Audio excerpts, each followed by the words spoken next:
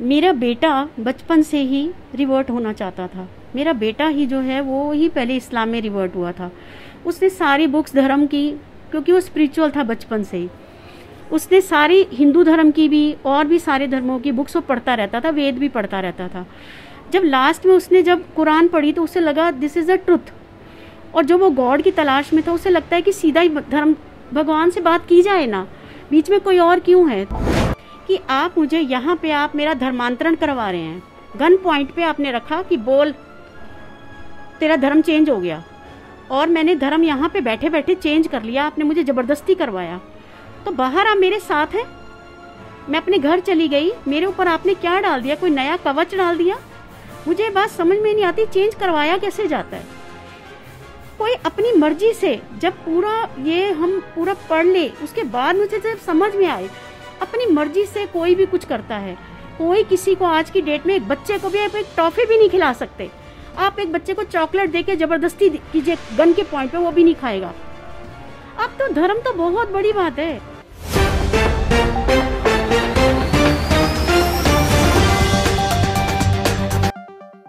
पलपल news से मैं हूँ आपके साथ नदीम अकरम मौलाना उमर गौतम को लेकर के उत्तर प्रदेश की सियासत और उत्तर प्रदेश की पुलिस द्वारा जो भी बातें सामने आ रही हैं, उनके बारे में आप तमाम लोगों को बताया जा चुका है।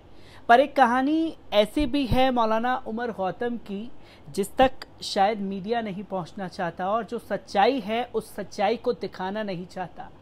क्योंकि यही डंके की चोट पर बार बार मीडिया के ज़रिए कहा जा रहा है कि मौलाना जो हैं, वो धर्मांतरण कराते थे।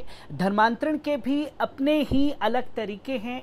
या तो आप जबरन धर्मांतरण करा रहे थे क्योंकि यही मीडिया में तस्वीरें दिखाई जा रही हैं। आज ऐसे ही एक शख्स से आपको रूबरू कराने जा रहा हूँ, जो हाल ही में अपने धर्म को छोड़ करके मुस्लिम धर्म अपनाया है। उनकी किस तरीके से पूरी बातें हैं, उनको भी सामने रखेंगी और मौलाना उमर गौतम के पूरे मामले को किस तरीके से देख रही हैं, इसके बारे में भी जानना ज़रूरी है।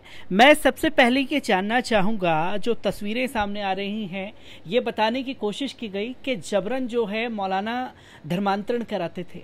किस तरीके से ये सच्चाई सामने रखेंगे आप? मुझे ये समझ में नहीं आता। मैं सबसे पहले आपसे पूछना चाहती हूँ कि क्या आज की डेट में कोई किसी को ज़बरदस्ती कुछ करवा सकता है? अगर कोई ज़बरदस्ती कुछ करवा सकता है तो अपने बच्चे को, जो पेरेंट्स हैं, उनके बच्चे बिगड़ क्यों जाते हैं? उनके बच्चे रेप केस में क्यों पकड़े जाते हैं? वो उनको कुछ इसका मतलब मतलब किसी भी तरीके से कोई किसी को समझा सकता है। आप मुझे एक बात बताइए कि आप मुझे यहाँ पे आप मेरा धर्मांतरण करवा रहे हैं। गन पॉइंट पे आपने रखा कि बोल, तेरा धर्म चेंज हो गया। और मैंने धर्म यहाँ पे बैठे बैठे चेंज कर लिया, आपने मुझे ज़बरदस्ती करवाया। तो बाहर आप मेरे साथ हैं? मैं अपने घर चली गई, मेरे ऊपर आपने क्या डाल दिया? कोई नया कवच डाल दिया? मुझे बात समझ में नहीं आती चेंज करवाया कैसे जाता है? कोई अपनी मर्ज़ी से जब पूरा ये हम पूरा पढ़ ले, उसके बाद मुझे जब समझ में आए अपनी मर्ज़ी से कोई भी कुछ करता है। कोई किसी को आज की डेट में एक बच्चे को भी आप एक टॉफ़ी भी नहीं खिला सकते। आप एक बच्चे को चॉकलेट दे के ज़बरदस्ती कीजिए, गन के पॉइंट पे वो भी नहीं खाएगा। अब तो धर्म तो बहुत बड़ी बात है, और जिनका चेंज कराया गया वो बहुत बड़े बड़े हैं। कोई छोटे छोटे बच्चे नहीं हैं जिनको मार के कराया गया। और यहाँ आपने करवा दिया, बाहर जाके भी मेरा धर्म चेंज ही रहेगा फिर। मैं अपने घर चली गई तो आपकी गन से डरती रहूँगी फिर भी। नहीं ना मैं यहाँ पे मुस्लिम बन गई, आपने बना दिया और मेरे घर में आप मेरे साथ तो नहीं है। वहाँ पे तो मैं हिंदू हूँ। क्या लॉजिक है? मुझे तो कोई लॉजिक ही समझ में नहीं आता इस चीज़ का। कोई लॉजिक तो हो। जिस तरीके की सियासत हम देख रहे हैं उत्तर प्रदेश में, ख़ासतौर पर मैं बात करूँगा मौलाना उमर गौतम को लेकर के, जो तस्वीरें सामने आ रही हैं, उन तस्वीरों में कितनी सच्चाई है? क्योंकि तमाम आरोप जो हैं, अब लगा दिए गए हैं। ये मानिए कि पूरे विलन के तौर पर मौलाना को पेश कर दिया गया है। मौलाना जी के बारे में अगर मैं बात करूँ तो उनके बारे में मैं आपको बताऊँगी एक बहुत ही अच्छी बात कि मेरा बेटा बचपन से ही रिवर्ट होना चाहता था। मेरा बेटा ही जो है, वो ही पहले इस्लाम में रिवर्ट हुआ था। उसने सारी बुक्स धर्म की, क्योंकि वो स्पिरिचुअल था बचपन से ही। उसने सारी हिंदू धर्म की भी, और भी सारे धर्मों की बुक्स वो पढ़ता रहता था, वेद भी पढ़ता रहता था।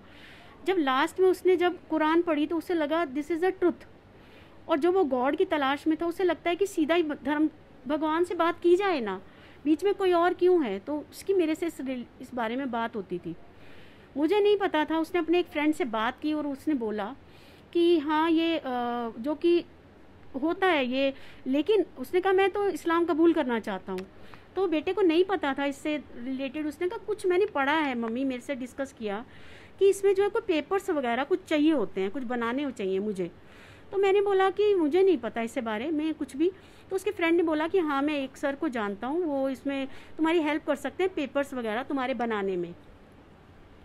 वो गौतम सर के पास आया और गौतम सर से उसने बात की। तो गौतम सर ने उसको कुछ बुक्स पढ़ने के लिए दी और पढ़ने के लिए कहा कि पहले आप इसके बारे में पूरी जानकारी लो, इसके बाद में आप मेरे से फिर मिलना।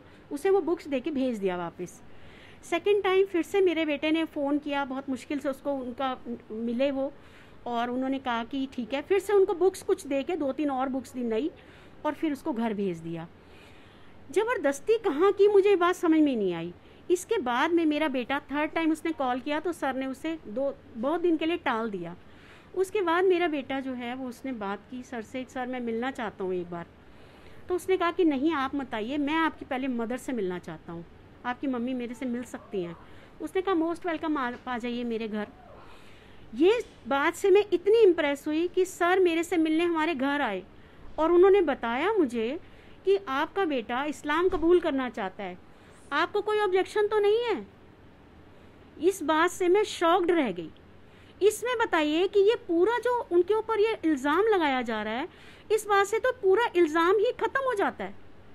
क्योंकि वो मेरे से मिलने आए पहले। कि ये पेपर्स बनाना चाहता है आपका बेटा तो क्या आर यू एग्री तो मैंने बोला, नहीं, मुझे कोई प्रॉब्लम नहीं है, क्योंकि ये तो भगवान का नाम है। भगवान का नाम लेने से तो मुझे कोई प्रॉब्लम नहीं है, वो किसी भी तरीके से भगवान का नाम ले।